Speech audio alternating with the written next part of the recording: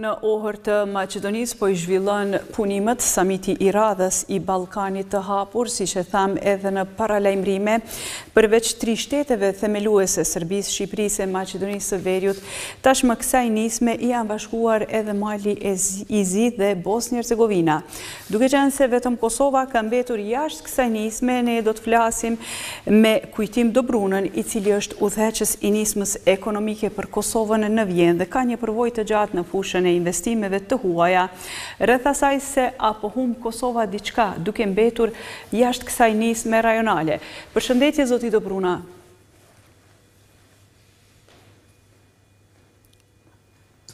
Zoti Dobruna është në Vjenë dhe e kemi në lidhje të drejtpërdrejtë. Po më dëgjoni zoti Dobruna? Përshëndetje, po, po ju dëgjoj. Mirë, atëherë, së fundi ju keni renditur disa argumente se përse Ballkani i Hapur është i dëmshëm për Kosovën. Mund të na thoni a po humbim gjë duke mos iu bashkuar kësaj nisme? Së pari, më duhet të Korrigjoj diçka në diskursin e përgjithshëm të ditëve të fundit. Nisma Ballkani i Hapur nuk është nismë e tri shteteve,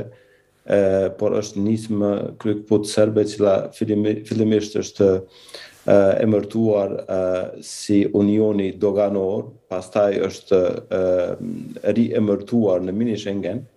Edhe sot e mban emrin Ballkani i Hapur. Po ashtu, Meqenëse këto dy shtete i ishin bashkuar që në fillim, atëherë konsiderohej se të dakorduara së bashku nisën diçka të përbashkët. Jo, faktikisht nisma rrjedh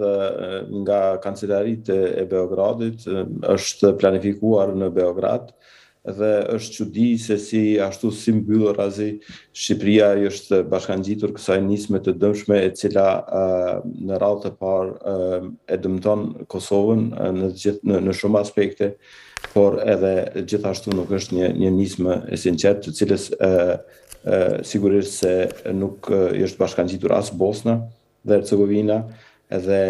nuk besoj se do t'i bashkangjitet as Mali i Zi, pavarësisht prej asaj se sot Mali i Zi përfaqësohet në cilësinë e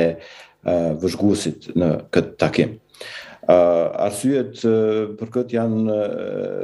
pse pse faktikisht kjo nismë është e dëmshme dhe e panevojshme për Kosovën janë të shumta. Unë kam radhitur disa prej tyre dhe njëra Ndër më kryesoret është se Kosova këtu nuk trajtohet si e barabartë, por konsiderohet si pjesë e Serbisë, si krahinë e Serbisë, dhe është çudi se si Shqipëria pajtohet me këtë me këtë qasje, posaçërisht kur dihet se edhe vetë presidenti serb Vuçiç në betimin e tij të fundit para Kuvendit serb u u betua solemnisht se do ta ruajë integritetin territorial të Serbisë me Kosovën e dhe siç tha ai Metohinë në të. Pra këtu Serbia nuk ka ndryshuar asgjë, është një Serbi e vjetër që vazhdon të ketë pretendime territoriale ndaj fqinjëve të saj, vazhdon ë të mos pendohet për krimet dhe gjenocidin që ka shkaktuar dhe uh, synon që tash uh, përmes mekanizmave të tillë të realizojë idetë e veta që njihen edhe si bota serbe apo srpski svet, me qëllim thjesht të shtrirjes së ndikimit ekonomik, politik në në gjithë rajonin dhe krijimit të një forme të një Jugosllavie të re. Ne kemi qenë form e pjesë e, e, e një një forme të tillë, ne e dimë mirëfilli se çfarë do të thotë të jesh në një bashkësi me Serbinë dhe me me shtetet e tjera, posaçërisht të jesh si e pabarabartë dhe E dimë të gjithë se si ka përfunduar eksperimenti i quajtur Jugosllavi. Ju keni shprehur drojën, frikën se influencën më të madhe në këtë iniciativë mund do ta kishin Rusia dhe Kina. Pse? Së pari, unionet janë klube vlerash të përbashkëta. Përderisa të gjitha vendet e rajonit kanë aspirata të bashkohen, të hyjnë në Bashkimin Evropian, dhe janë pjesë e NATO-s apo janë në proces për t'u anëtarësuar në NATO, Serbia e konsideron NATO-n si agresore. Njëkohësisht, interesi i Serbisë për BE-në është kufizohet vetëm në interesin financiar, në ndihmat financiare që mund t'i marrë nga NATO-ja, por nuk besoj se ka një interes të sinqertë për të, nga BE-ja natyrisht, dhe nuk besoj se ka një interes të sinqertë për t'iu bashkëngjitur BE-së. Rrjedhimisht Serbia vazhdon të jetë shumë më afër Rusisë dhe Kinës, është vendi i vetëm në Evropë që që vazhdon të armatoset me armë kineze, kjo duhet thënë se është edhe në kundërshtim me marrëveshjen e Washingtonit, të cilën Serbia e ka nënshkruar bashkë me me Kosovën dhe me presidentin Trump. ë Mirëpo vazhdon edhe të shkel të, të mos i e, përfshihet në në sanksionet kundër Rusisë dhe në ditën kur BE-ja mori hapin më të madh për t'u shkëputur nga varshmëria energjetike ruse, Serbia ripërtriu kontratat. Kështu që Serbia vazhdon të jetë në shërbim të interesave ruse dhe kineze dhe unë druaj se Ballkani i Hapur është një mekanizëm tjetër për të forcuar ndikimin posaçërisht rus në Ballkan dhe për të frenuar integrimin e Ballkanit në Bashkimin Evropian dhe në NATO. Kjo u pa edhe me deklaratën e fundit të Lavrovit, mirëpo ekziston edhe një numër i madh i fakteve të cilat e dëshmojnë këtë. Janë edhe disa pengesa shumë serioze, për shembull, qytetarët rusë, shtetasit rusë, kanë liri të lëvizjes në Serbi, dhe pyetja që unë e kam është se si do të udhëtojnë pastaj këta qytetarë kur futen në të ashtuquajturin Ballkanin e Hapur, sepse më nuk do të nuk do të ketë kufi. Kjo i bie se qytetarët rusë mund të zbarkojnë në Beograd ose në ndonjë aeroport tjetër dhe nga aty do të lëvizin lirshëm nëpër tërë territorin e Ballkanit të Hapur,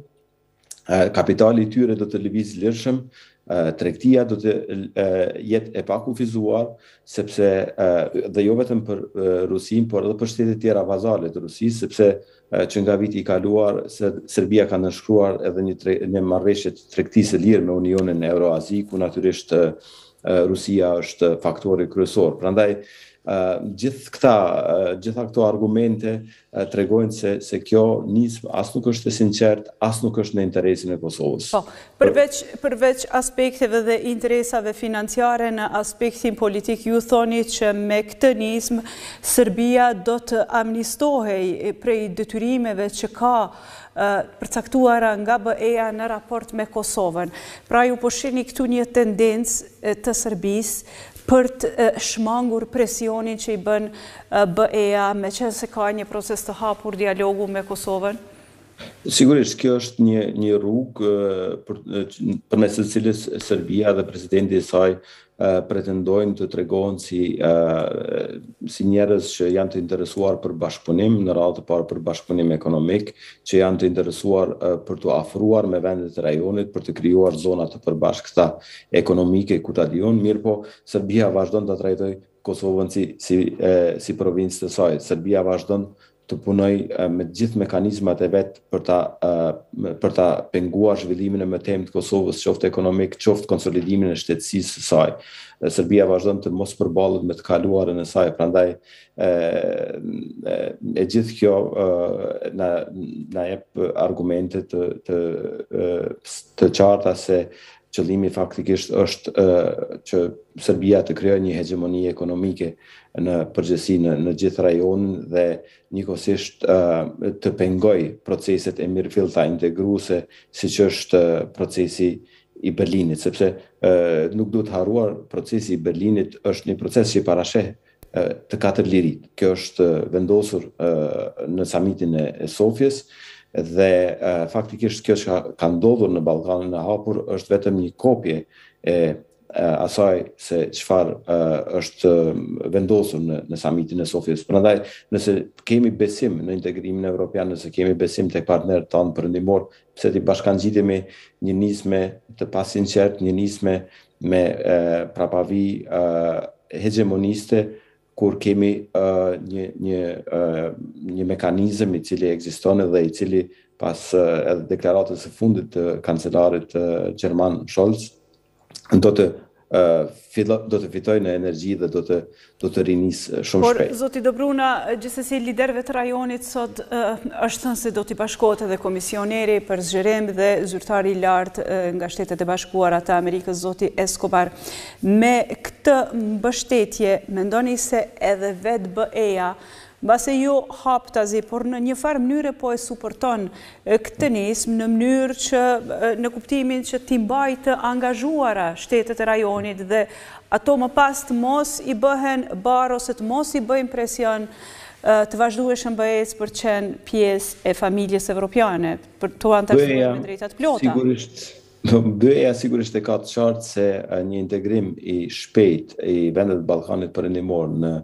Bashkimin Evropian është i pamundur. Për këtë do të duhet kohë dhe sigurisht që ka zyrtarë brenda BE-së, të cilët përkrahin ndoshta në cilësinë në cilësinë e individëve përkrahin iniciativa të tilla. Unë jam dëshmitar i disa takimeve ku faktikisht zyrtarët e BE-së kanë thënë qartazi se nuk tolerojnë iniciativa të cilat bien në kundërshtim me me procesin e Berlinit dhe kjo është thënë edhe publikisht disa herë. Mirëpo sigurisht se me prezencën e tyre ata duan që të jenë dëshmitarë të këtyre zhvillimeve dhe të shohin nga afër se çfarë në të vërtetë fshihet prapa këtyre qëllimeve. Sidoqoftë, të gjitha deklaratat që janë dhënë në çoja kuad në mbështetje të, të nismës së Ballkanit të hapur janë deklarata individuale dhe nuk ka asnjë deklaratë zyrtare të Unionit Evropian që e përkrah këtë nismë të Ballkanit të hapur. Ka zëra, mbase ma shumë në Shqipëri se sa në Kosovë, sepse megjithatë spektri politik këtu tregoi një unitet kundër kësaj nisme, nuk është se ka ndryshuar qëndrimet, por ka zëra më tepër andej se thonë që kjo është një mundësi e humbur për Kosovën. Po qe se do të ishte pjesë e kësaj nisme Kosova, do të kishte fuqi ose do të kishte mundësi që të përcaktonte rregullat e veta, ose të shtynte përpara interesat e veta? Unë nuk mendoj që Kosova humb diçka nëse nuk bëhet pjesë e kësaj nisme. Kosova faktikisht fiton shumë nëse mbetet kështu siç është, sepse fokusi i Kosovës do të jetë tek procesi i Berlinit. Ta themi të qartë, unë jam përkrahës I, një nisme të tillë e cila e liberalizon komplet tregun rajonal edhe i mundëson edhe liritë e lëvizjes edhe lirinë e lëvizjes së kapitalit, edhe të mallrave dhe të gjitha liritë që i ka dhe Bashkimi Evropian. Por jo në një kornizë, të cilën e determinon Serbia, jo në një kornizë ku Kosova trajtohet si e pabarabartë dhe jo në një kornizë ku nuk ka ndonjë mekanizëm zhdëmtues për vendet më të pazhvilluara. Me një fjalë, Ballkani i Hapur nuk ka fonde për të ndihmuar vendet që i bashkangjiten që gjatë zhvillimit të marrëdhënieve mes këtyre shteteve të ngritën, të ngrisin kapacitetet e tyre dhe të mbështesin sektorin privat, po edhe atë publik që të jetë në shërbim të qytetarit, nuk ka mekanizma të cilët domethënë e zhdëmtojnë një ekonomi më të pazhvilluar siç është ajo e Kosovës apo e Malit të Zi apo e Bosnjës, ndërsa me mekanizmin e, e, e Procesi i Berlinit i ka këto mekanizma? Procesi i Berlinit, po. I ka sepse me procesin e Berlinit lidhen, ndërlidhen investime të mëdha në infrastrukturë, ndërlidhen investime të mëdha në zhvillimin e sektorit privat, në demokratizim, në rend dhe ligj, kështu që ky është një një një faktikisht procesi i Berlinit është një pako me me masa të cilat i ndihmojnë barazi të gjitha shtetet të rajonit dhe nuk lejojnë që një shtet që është më i fuqishëm ekonomik të të rrisë ndikimin edhe më shumë dhe me një fjalë procesi i Berlinit nuk është një promotor i hegjemonisë ekonomike të një pale siç është Ballkani i Hapur. Zoti Dobruna, faleminderit shumë për këtë lidhje dhe këtë mundësi për intervistë. Faleminderit edhe për ju. Po vazhdojmë të mbetemi tek e njëjta temë, pas pak do të kemi edhe një lidhje tjetë.